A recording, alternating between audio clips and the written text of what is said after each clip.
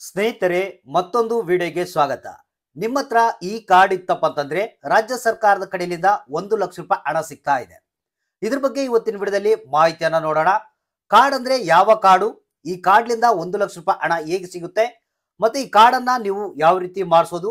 ಮತ್ತೆ ಒಂದು ಲಕ್ಷ ರೂಪಾಯಿ ಹಣವನ್ನ ಪಡೆಯೋದಕ್ಕೆ ಅರ್ಜಿಯನ್ನ ಯಾವ ರೀತಿ ಸಲ್ಲಿಸಬೇಕಾಗುತ್ತೆ ಅನ್ನೋದ್ರ ಬಗ್ಗೆ ಮಾಹಿತಿಯನ್ನ ತಿಳಿಸ್ಕೊಡ್ತಾ ಇದ್ದೀನಿ ಹಾಗಾದ್ರೆ ಬನ್ನಿ ಈ ಕಾರ್ಡ್ ಇದ್ದಂಥವ್ರಿಗೆ ರಾಜ್ಯ ಸರ್ಕಾರದ ಕಡೆಯಿಂದ ಒಂದು ಲಕ್ಷ ರೂಪಾಯಿ ಹಣವನ್ನ ನೀವು ಪಡೆದುಕೊಳ್ಳೋದು ಹೇಗೆ?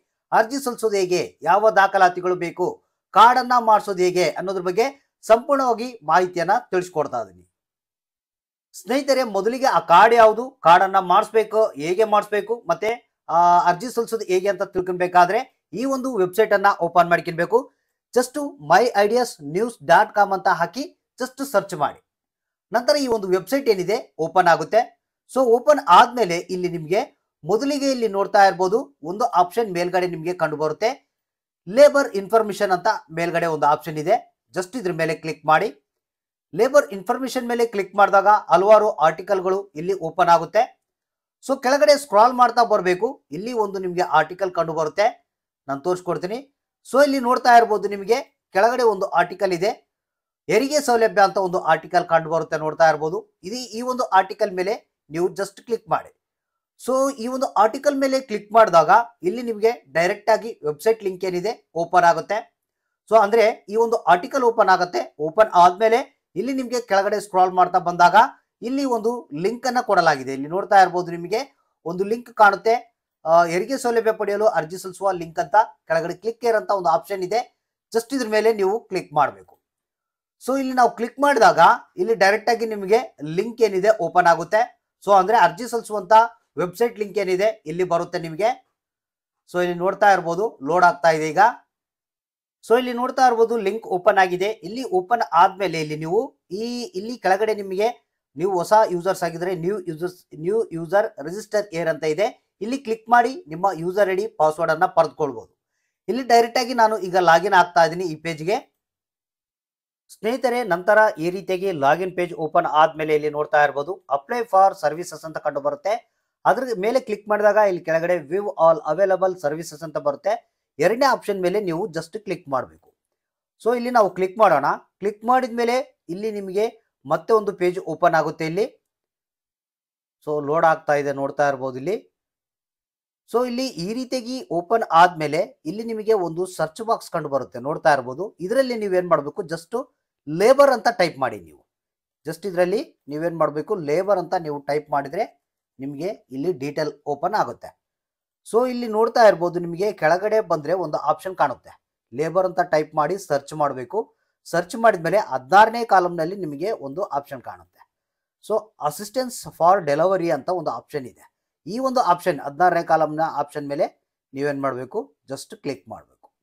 ಕ್ಲಿಕ್ ಮಾಡಿದಾಗ ಇಲ್ಲಿ ಈ ಒಂದು ಪೇಜ್ ಏನಿದೆ ಅಪ್ಲಿಕೇಶನ್ ಹಾಕೋದು, ಇದು ಓಪನ್ ಆಗುತ್ತೆ.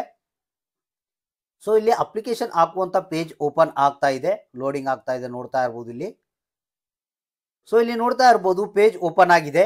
ಹೆರಿಗೆ ಸಹಾಯಧನಕ್ಕಾಗಿ ಅರ್ಜಿ ಅಂತ ಬಂದಿದೆ. ಸೊ ಇದಕ್ಕೆ ಅರ್ಜಿಯನ್ನು ಸಲ್ಲಿಸಿದ್ರೆ ಒಂದು ಲಕ್ಷ ರೂಪಾಯಿ ನಿಮಗೆ ಸಿಗುತ್ತೆ. ಸೊ ಇದನ್ನ ಡೀಟೇಲ್ ಆಗಿ ನಿಮಗೆ ತಿಳಿಸ್ಕೊಟ್ಬಿಡ್ತೀನಿ. ಈ ಕಾರ್ಡ್ ಯಾವುದು? ಮತ್ತೆ ಇದನ್ನ ಯಾರು ಮಾಡಿಸ್ಬೇಕು? ಎಲ್ಲಿ ಮಾಡಿಸ್ಬೇಕು? ಅನ್ನೋದನ್ನ ತಿಳಿಸ್ಕೊಟ್ಟು ಆಮೇಲೆ ಅರ್ಜಿ ಸಲ್ಲಿಸೋದನ್ನ ತಿಳಿಸ್ಕೊಡ್ತೀನಿ. ಸೊ ಮೊದಲಿಗೆ ಕಾರ್ಡ್ ಯಾವುದಪ್ಪ ಅಂತಂದ್ರೆ, ಕಾರ್ಮಿಕ ಕಾರ್ಡ್ ಇದ್ದಂಥವ್ರಿಗೆ ಈ ಬೆನಿಫಿಟ್ ಸಿಗ್ತಾ ಇದೆ. ಕಾರ್ಮಿಕ ಕಾರ್ಡ್ ಅಂತಂದ್ರೆ ದಿನಗೂಲಿ ಕೆಲಸ ಮಾಡುವಂಥವ್ರು ಅಥವಾ ಕಾರ್ಮಿಕರಾಗಿರ್ಬೋದು ಅಥವಾ ಸಣ್ಣ ಪುಟ್ಟ ಕೆಲಸ ಮಾಡುವಂಥವ್ರು ಎಲ್ಲರೂ ಈ ಕಾರ್ಡನ್ನ ಮಾಡಿಸ್ಬೋದು, ಕಾರ್ಮಿಕ ಕಾರ್ಡ್. ಕಾರ್ಮಿಕ ಕಾರ್ಡನ್ನ ಎಲ್ಲಿ ಮಾಡಿಸ್ಬೇಕಪ್ಪ ಅಂತಂದ್ರೆ ನಿಮಗೆ ನಿಮ್ಮ ತಾಲೂಕು ಮಟ್ಟದಲ್ಲಿ ಕಾರ್ಮಿಕ ಇಲಾಖೆ ಇರುತ್ತೆ, ಅಲ್ಲಿ ಕಾರ್ಮಿಕ ಕಾರ್ಡನ್ನ ಮಾಡಿಕೊಡ್ತಾರೆ. ಇಲ್ಲಾಂದ್ರೆ ನಿಮ್ಮ ಹತ್ತಿರದ Grama One, Karnataka One, Bengaluru One ಕೇಂದ್ರಗಳಲ್ಲಿ ಈ ಒಂದು ಕಾರ್ಮಿಕ ಕಾರ್ಡ್ಗೆ ಅಪ್ಲೈ ಮಾಡ್ತಾರೆ. ಸೊ, ಅಲ್ಲಿಂದ ನೀವು ಅಪ್ಲೈ ಮಾಡಿ ಕಾರ್ಮಿಕ ಕಾರ್ಡನ್ನ ಪಡೆದುಕೊಳ್ಬಹುದು ಕಾರ್ಮಿಕ ಕಾರ್ಡ್ ಇದ್ರೆ ಮಾತ್ರ ಈ ಒಂದು ಬೆನಿಫಿಟ್ ಅನ್ನ ನೀವು ಪಡೆಯೋ, ಪಡೆಯೋಕೆ ಬರುತ್ತೆ. ಸೊ ಅಂದ್ರೆ ಕಾರ್ಮಿಕ ಕಾರ್ಡ್ ಅಂತಂದ್ರೆ ಏನು? ಕಾರ್ಮಿಕ ಕಾರ್ಡ್ ಇದ್ರೆ ನಿಮ್ಮ ಕುಟುಂಬದಲ್ಲಿ, ನಿಮ್ಮ ವೈಫ್ ಆಗಿರ್ಬೋದು ಅಥವಾ ಕಾರ್ಮಿಕ ಕಾರ್ಡ್ ಅನ್ನ ಹೆಣ್ಮಕ್ಳು ಮಾಡಿಸಿದ್ರೆ ಅಂಥವ್ರಿಗೆ ಮೊದಲ ಒಂದು ಎರಡು ಡೆಲಿವರಿ ಏನಾಗ್ತವೆ? ಆ ಒಂದು ಎರಡು ಡೆಲಿವರಿಗೆ ಒಬ್ರಿಗೆ ಒಂದು ಡೆಲಿವರಿಗೆ ಐವತ್ತು ಸಾವಿರ ರೂಪಾಯಿ ಅಂತ ಕೊಡ್ತಾರೆ. ಅಂದ್ರೆ ಹೆಣ್ಣಾಗ್ಲಿ, ಗಂಡಾಗ್ಲಿ ಎರಡು ಮಕ್ಕಳಿಗೆ ಏನ್ ಜನ್ಮವನ್ನ ನೀಡ್ತಾಳೆ ಹೆಣ್ಮಗಳು ಆ ಒಂದು ಒಂದು ಮಗುವಿಗೆ ಐವತ್ತು ಸಾವಿರ ರೂಪಾಯಿ ಅಂತ ಕೊಡ್ತಾರೆ. ಟೋಟಲಿಗೆ ಎರಡು ಮಗುವಿಗೆ ಒಂದು ಲಕ್ಷ ರೂಪಾಯಿ ಹಣವನ್ನ ಇಲ್ಲಿ ಹೆರಿಗೆ ಸಹಾಯಧನಕ್ಕಾಗಿ ಅಂತ ಕೊಡ್ತಾ ಇದ್ದಾರೆ. ಅಂದ್ರೆ ಏನಪ್ಪಾ ಅಂತಂದ್ರೆ ಮಹಿಳೆಯರು ಕಾರ್ಮಿಕ ಕಾರ್ಡ್ ಅನ್ನ ಮಾಡಿಸಿರ್ಬೇಕು. ಮೊದಲ ಅಂದ್ರೆ ಇಲ್ಲಿ ಮಹಿಳೆಯರು ಕಾರ್ಮಿಕ ಕಾರ್ಡ್ ಅನ್ನ ಮಾಡಿಸಿರ್ಬೇಕು. ಅವರಿಗೆ ಮದುವೆ ಆದ ನಂತರ ಮೊದಲ ಎರಡು ಡೆಲಿವರಿ ಏನಾಗುತ್ತೆ? ಒಂದು ಮಗುವಿಗೆ ಐವತ್ತು ಸಾವಿರ ರೂಪಾಯಿ, ಎರಡನೇ ಮಗುವಿಗೆ ಐವತ್ತು ಸಾವಿರ ರೂಪಾಯಿ. ಅಂದ್ರೆ ಟೋಟಲ್ ಆಗಿ ಇಬ್ರು ಮಕ್ಕಳಿಗೆ ಒಂದು ಲಕ್ಷ ರೂಪಾಯಿ ಹಣವನ್ನ ಇಲ್ಲಿ ಕೊಡ್ತಾ ಇದ್ದಾರೆ.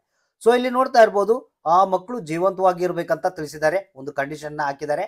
ಸೊ ನಂತರ ಇಲ್ಲಿ ನಿಮಗೆ ಯಾವ ರೀತಿ ಈ ಒಂದು ಅರ್ಜಿಯನ್ನು ಸಲ್ಲಿಸೋದು ಅಂತ ತಿಳಿಸ್ಕೊಡ್ತೀನಿ. ಒಂದು ಕಾರ್ಮಿಕ ಕಾರ್ಡ್ ಅನ್ನ ಮಾಡಿಸಿದ್ಮೇಲೆ ಅದರಲ್ಲಿ ರಿಜಿಸ್ಟ್ರೇಷನ್ ನಂಬರ್ ಅಂತ ಇರುತ್ತೆ. ಆ ಒಂದು ರಿಜಿಸ್ಟ್ರೇಷನ್ ನಂಬರ್ನ ಇಲ್ಲಿ ಹಾಕ್ಬೇಕು. ನಂತರ ಕಾರ್ಮಿಕ ಕಾರ್ಡ್ ಅನ್ನ ಯಾವಾಗ ಮಾಡಿಸಿರ್ತಾರ ಅದರ ಡೇಟ್ ಇರುತ್ತೆ. ಆ ಡೇಟ್ ಅನ್ನ ಇಲ್ಲಿ ಹಾಕ್ಬೇಕು. ಮತ್ತೆ ಆ ಕಾರ್ಡು ರಿನೋಲ್ ಯಾವಾಗ ಬರುತ್ತೆ ಅನ್ನೋದನ್ನ ಆ ಡೇಟ್ ಇಲ್ಲಿ ಹಾಕ್ಬೇಕು. ನಂತರ ನೋಂದಣಿ ಸಮಯದಲ್ಲಿ ಅರ್ಜಿದಾರನ ವಯಸ್ಸು.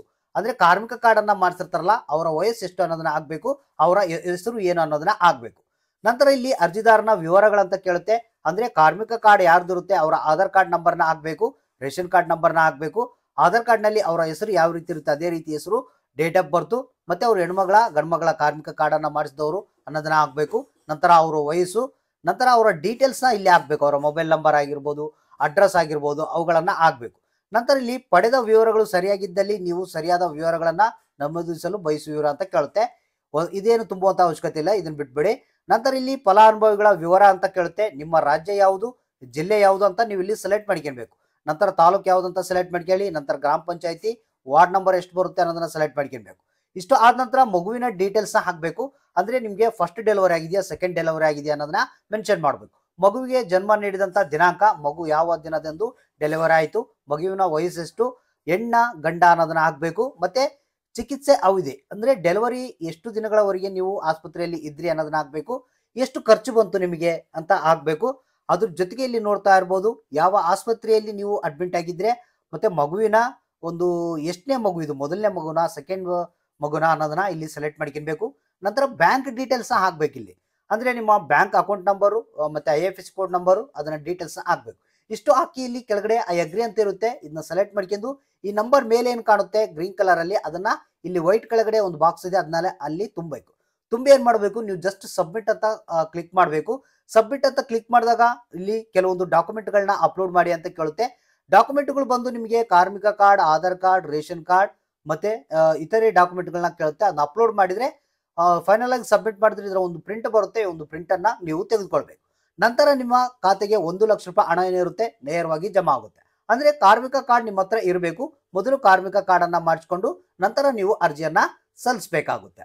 ಸ್ನೇಹಿತರೆ, ಈ ಒಂದು ವಿಡಿಯೋ, ಈ ಒಂದು ಮಾಹಿತಿ ನಿಮಗೆ ಇಷ್ಟ ಆಗಿದ್ದಲ್ಲಿ ಒಂದು ಲೈಕ್ ಮಾಡಿ, ತಪ್ಪದೆ ಎಲ್ರಿಗೂ ಶೇರ್ ಮಾಡಿ. ವಿಡಿಯೋನ ನೋಡಿದ್ದಕ್ಕೆ ಧನ್ಯವಾದಗಳು.